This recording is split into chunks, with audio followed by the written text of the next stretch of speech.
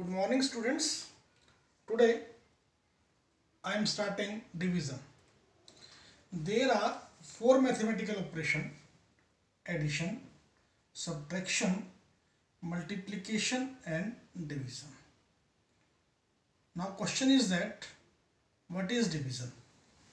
First of all division is a repeated subtraction. For example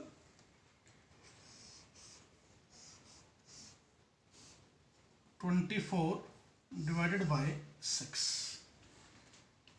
How many times would you subtract six from twenty-four to reach zero? Let's see. Twenty-four minus six is equal to eighteen.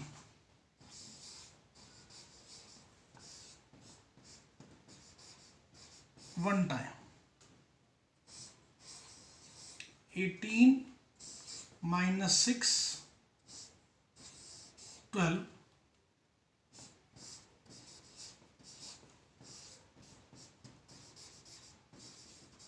Two times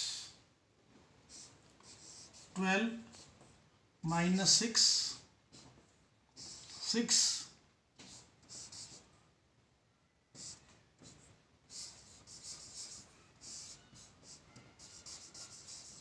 Three times.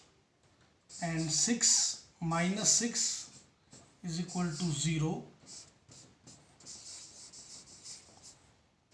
four times.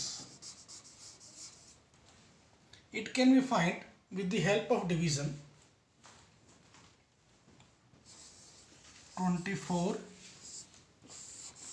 divided by 6 6 4 ja 24